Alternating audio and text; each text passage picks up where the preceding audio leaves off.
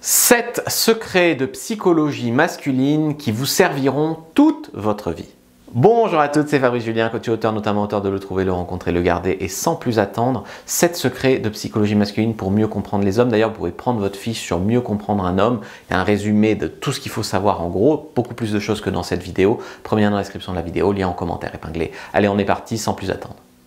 La première différence, c'est que les femmes, souvent, sans vouloir faire des clichés, mais sont beaucoup plus dans le ressenti, dans l'émotion. Elles parlent beaucoup plus ouvertement de ça, et c'est d'ailleurs une force, une richesse que vous avez, là où les hommes sont beaucoup plus dans la retenue, il faut être fort, il faut être pragmatique, il faut trouver des solutions à nos problèmes, il faut parler de choses concrètes, rationnelles, comment on va gérer ça, alors que beaucoup de femmes sont dans le, ressenti, comment ça les fait sentir, comment elles peuvent appréhender ça mieux. Et c'est d'ailleurs une richesse, parce que beaucoup de femmes, par exemple, sont beaucoup plus spirituelles que, que la plupart des hommes, sont beaucoup plus sensibles, empathiques. C'est une belle richesse, mais il ne faut pas dire que les hommes, c'est nul parce que c'est pragmatique, concret, ça cherche du résultat. C'est juste une façon de communiquer différente. Là où tu vas lui parler de tes problèmes au boulot, que tu vas dire qu'avec ton patron, ça se passe pas très bien, euh, tu as juste envie qu'il t'écoute et que et que ça te fasse du bien d'en parler, et lui il va te dire ton patron, tu veux je vais lui casser la gueule, hein, voilà, tu vas y chercher la solution. Euh, c'est à comprendre euh, que c'est ni bien ni mal, c'est juste différent comme communication. Les hommes ont plus de honte, de tabou, de parler de leurs émotions, de leurs sentiments, de pleurer par exemple, de tout ça. Donc ça, ne place pas la discussion en fait dans le même cadre. Il faut presque un décodeur des hommes. Tu vois. Les hommes et les femmes, point numéro 2, sont dans une forme de misère sexuelle et affective très différente. Cette différence fait que dans l'immédiat, beaucoup de femmes cherchent le coup de cœur. Tu vois, elle, pourrait avoir beaucoup d'hommes. Une femme s'inscrit sur Tinder, elle a 50 matchs dans la soirée. Euh, une femme sort dans la rue, il y a des mecs qui viennent parler tellement qu'elle se plaint de se faire harceler. Tu vois, ça n'arrive pas à un homme. Un homme n'a pas le choix comme ça. Et donc, c'est une forme de misère sexuelle et affective très différente où la femme va chercher dans l'immédiateté le coup de cœur, elle va dire je ne trouve pas le bon, je tombe que sur des connards, etc. ce qui est tout à fait vrai dans son ressenti, dans votre ressenti de femme, c'est tout à fait juste. Là où l'homme, lui, va être dans une forme euh, de, misère sexuelle et affective très différente, où il va en être en fait à euh, coucher avec une fille qui lui convient dans l'immédiat. Parce que comme je t'ai dit, l'homme n'a pas tellement le choix. Même s'il est mignon, même s'il est riche, à moins qu'il soit très célèbre ou excessivement beau ou excessivement riche, mais excessivement, d'accord, euh, hors de la moyenne, dans un extrême, il n'aura pas le choix vraiment le choix, à part de se bouger beaucoup le cul. Il peut être dans un extrême de la drague, par exemple. Mais à moins d'être dans un extrême, un homme n'a pas tellement le choix. Donc un homme n'est pas dans la même recherche qu'une femme. Une femme, elle, elle va rechercher dans l'immédiateté le coup de cœur, comme j'ai dit très souvent. Là où un homme, lui, il va rechercher finalement euh, une fille euh, convenable, baiser dans l'immédiat. Et une fois qu'il aura couché avec elle, il va se dire est-ce que je reste pour du sérieux? Est-ce qu'elle me plaît pour du sérieux? Etc. Là où la fille l'aura déjà presque validé comme un coup de cœur. Et donc du coup, la fille, des fois, vous comprenez pas pourquoi l'homme disparaît après le sexe. Ou, et vous vous dites si je l'avais fait attendre, peut-être qu'il serait tombé amoureux. Non, non, tu l'aurais fait attendre. Et, il n'aurait pas couché avec toi du tout, peut-être. Et, euh, et tu l'aurais pas eu davantage, tu vois. En fait, dans la société actuelle, je ne dis pas que ça, a toujours été comme ça, mais aujourd'hui, beaucoup d'hommes ont besoin d'être euh, mis en confiance, rassurés sur le fait que ce ne sont pas des gros lourds, que ce ne sont pas des gros porcs. La société fait sentir les hommes vraiment coupables de leurs désirs, tu vois, et c'est très très dur et la société actuellement donne le beau rôle beaucoup aux femmes.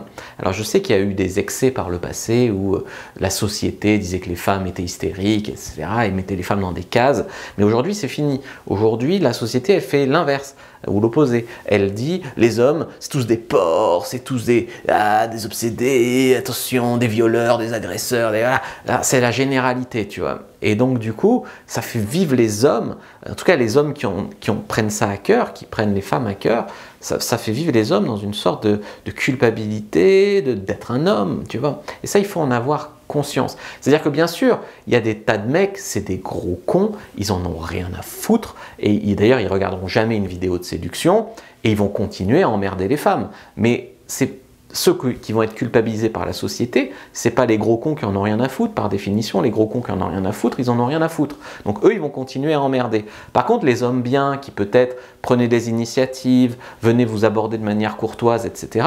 Tout cela, ils entendent le message de la société et ils le font plus. Ils font plus ça parce que la société les culpabilise vraiment. Troisième chose à bien comprendre vis-à-vis des femmes, les hommes vivent beaucoup dans la peur. La première peur, j'en ai parlé juste avant, c'est la peur un petit peu du féminisme, la peur euh, que juste tu parles à une femme ou tu la regardes, tu es taxé de harceleur, de, de, violeur, de voilà. Donc ça, euh, un mot de travers, ça y est, en prison. Donc ça, ça il y a une première peur vraiment, euh, je crois que vous la sous-estimez chez les hommes du féminisme.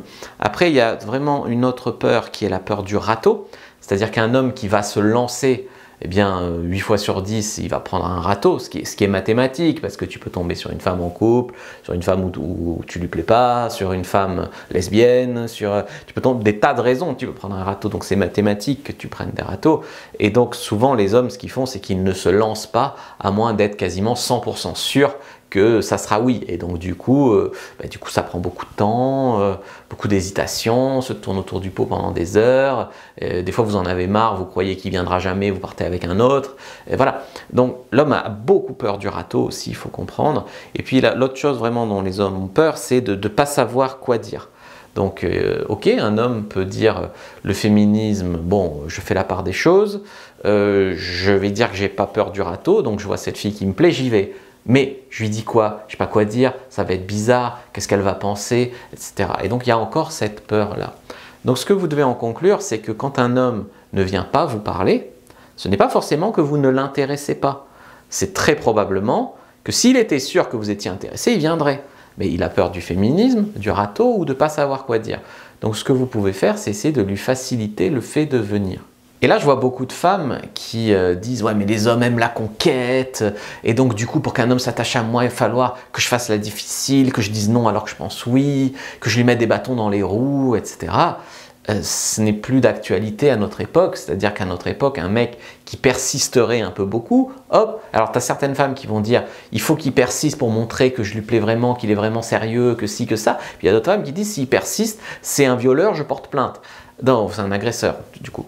Et, donc, du coup, euh, l'homme est perdu. Donc, du coup, aujourd'hui, à notre époque, c'est très compliqué de se dire, puisque l'homme aime la conquête, pour qu'il m'ait vraiment, je vais mettre des bâtons dans les roues, nani nana. C'est très compliqué parce que tu as d'autres femmes à côté qui vont dire, euh, ben, moi, quand je dis oui, c'est oui, quand je dis non, c'est non. Donc, euh, perdu, on est perdu. Quatrième chose, je sais que les femmes ressentent de la pression, c'est assez connu, de la pression euh, par sociétale hein, d'ailleurs, qui est souvent mise en place par les élites ou même par d'autres femmes. La pression à être mince, la pression euh, euh, des fois à gagner autant qu'un homme, faire des métiers de mec. Il y a beaucoup de pression aujourd'hui qui s'exerce sur les femmes et ça, du coup, vraiment, je sais qu'on a tous de pression, mais du coup, comme on a tendance à ressentir de la pression, souvent on jette la faute sur l'autre, on a l'impression que l'autre a la vie facile.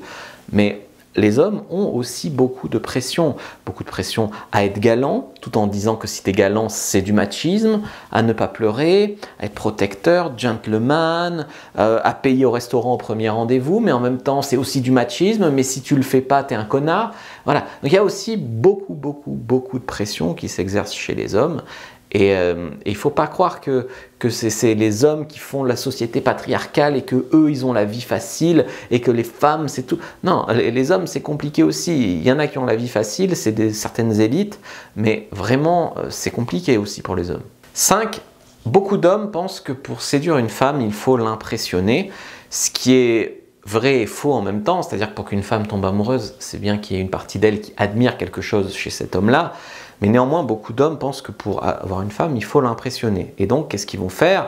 Ils vont essayer de parler d'argent, ils vont se vanter euh, avec euh, peut-être leurs muscles, euh, leur porte-monnaie, leur portefeuille, leur compte en banque, leur grosse bite, leur grosse bagnole. Tu vois, ces choses-là qui finalement impressionner ce qu'on appelle les michetonneuses, c'est-à-dire des, croqueuses de diamants, mais la majorité des femmes qui vont chercher l'amour, elles vont chercher une relation qui va au-delà de la grosse bite, des gros muscles ou euh, du gros fric. Et, donc du coup, ça crée vraiment un, décalage où tu as des hommes qui peuvent être d'ailleurs amoureux ou bien intentionnés envers une femme et qui pensent que pour l'avoir, ils doivent lui en mettre plein les yeux. Et la femme se dit, mais pourquoi il se vante ce connard, tu vois? C'est pour ça que souvent vous allez les trouver lourds avec ça. Je sais qu'il y a beaucoup de femmes qui, n'aiment pas la vantardise chez un homme, mais en même temps, beaucoup d'hommes, c'est ceux qui regardent les vidéos Red Pill, etc., ils sont persuadés que pour avoir une femme, il faut étaler son fric, ses muscles et sa grosse bite. Et donc ça crée vraiment un décalage. La plupart des hommes, ils ont beaucoup trop d'ego pour regarder par exemple mes vidéos de séduction pour hommes. Donc du coup, pour eux, le niveau zéro de la séduction, c'est euh, salut Miss, ça va? Et, ça, ça vous gave aussi, tu vois. Et, et, du coup, c'est quelque chose que je peux comprendre, que ça vous gave, mais des fois, ça part d'une bonne intention. Je veux dire, bien sûr qu'il y a des crevards, des queutards, des, des connards, des... bien sûr qu'ils vont faire « ouais, je suis mademoiselle, machin », mais des fois, tu es un gars qui sait juste pas faire et qui... Euh, est bien intentionné, qui est peut-être gentil, romantique, tout ça, mais qui sait juste pas faire, qui soit va se vanter, soit va être d'une banalité affligeante, salut ça va, et vous allez l'envoyer bouler pour ça, tu vois. Bien sûr, vous pouvez pas faire la différence entre un, connard et ça, mais d'un autre côté, quand, euh, par exemple, je le sais que puisque j'enseigne la séduction, dès qu'un mec apprend la séduction, il va me dire oh manipulateur, connard, machin. Donc en fait, tu es niqué de tous les côtés. Si t'apprends pas, tu es niqué parce que tu es d'une banalité affligeante, on te voit pas. De l'autre côté, euh, on va te dire que tu es un manipulateur Du coup, même quand un homme est euh, gentil et romantique, et moi c'est ce que j'étais avant d'apprendre la séduction, tu te prends une grosse claque de réalité. Je veux dire, moi j'étais un, petit gars, euh, euh, pas, pas moche, normal, bien intentionné, j'étais toujours amoureux d'une fille pendant six mois, machin. Des fois même des nanas, je leur avais parlé qu'une fois dans la cour de récréa, j'étais, j'étais fou, et, j'étais bien intentionné, j'étais amoureux, et sur le papier, c'est ce que vous vous dites toutes rechercher. Eh bien, jamais j'en ai touché une. Pourquoi? Parce que j'avais des potes dragueurs, et ben, ils sortaient avec 3-4 de ces nanas-là dont moi j'étais sincèrement amoureux, mais eux ils en avaient rien à foutre, ils les emballaient dans un coin, et, voilà. Et ils n'avaient pas forcément plus de choses que moi euh, physiquement, ou euh, par la tchatch, quoi. Et, donc du coup, quand tu es un gentil garçon, romantique, machin, t'entends la société qui te caresse dans le sens du poil, peut même te dire que ta timidité est mignonne, machin. Mais d'un autre côté, dans la vraie vie, rien, nada, compliqué. Et donc, bah, donc du coup, euh, euh, bah, tu te tournes vers les techniques de séduction, c'est normal. Sixième chose, il faut savoir que bah, les femmes aussi, mais les hommes sont beaucoup en environnement concurrentiel quand ils draguent. Mais les hommes ont tendance à, surévaluer la concurrence. Par exemple, sur Tinder, ils vont se dire qu'il y a beaucoup d'hommes, beaucoup mieux qu'eux, qui vous draguent en permanence 24-24 sur Tinder. Il faut dire que sur Tinder, il y a beaucoup de mecs, ils mettent des photos d'eux il y a 10 ans quand ils avaient les abdos, ils n'ont plus aujourd'hui.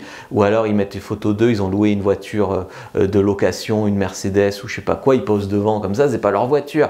Mais c'est vrai que ça crée de l'illusion comme ça, et du coup l'homme euh, surévalue beaucoup la concurrence, et donc ben, il complexe, il se dit euh, bah, il peut pas vous avoir, que les autres mecs sont mieux que, que, lui, que vous avez forcément le choix. Et encore une fois, il vient pas, ou alors si vous lui mettez des bâtons dans les roues dans la séduction pour le tester, bah, il abandonne.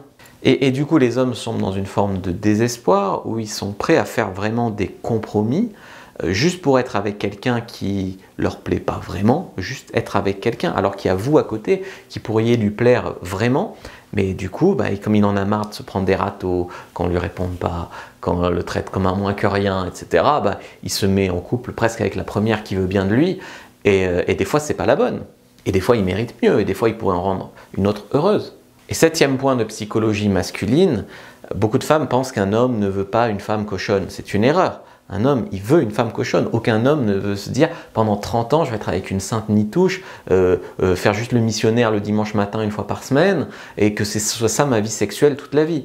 En fait, l'homme, c'est beaucoup plus complexe que ça sexuellement. L'homme veut être avec une cochonne, mais qui soit presque cochonne que pour lui, tu vois, que avec lui. Alors, dans les faits, c'est impossible, puisque une cochonne, bah, elle a déjà eu des ex, c'est normal, mais c'est bien. Et, du coup, bah du coup, ce qu'il faut entretenir un petit peu un flou là-dessus pour qu'il ait l'impression que vous êtes une cochonne que pour lui. C'est pareil, un homme, il va pas prendre une fille moche. Enfin, il y a des hommes qui n'ont pas confiance en eux qui font ça, qui prennent une fille moche, en tout cas qui eux ils trouvent moche, dans l'idée que d'autres mecs ne vont pas la draguer et donc qu'elle va rester avec lui, être fidèle. Mais un homme qui a confiance en lui et tout ce qu'il va chercher, c'est ok, d'autres mecs vous courent après, d'autres mecs vous draguent, d'autres mecs vous chassent, mais vous ne voyez que lui, tu vois. Ça, c'est vraiment ça, la confiance en soi et vraiment ce que va chercher un homme. Il y aurait tellement de choses à dire supplémentaires sur euh, comprendre les hommes. Je vais vous laisser avec la fiche complète sur mieux comprendre les hommes. Première dans la description de la vidéo, lien en commentaire épinglé. Likez, commentez, partagez. Merci d'avoir regardé jusqu'au bout. Abonnez-vous et rendez-vous dans la prochaine vidéo.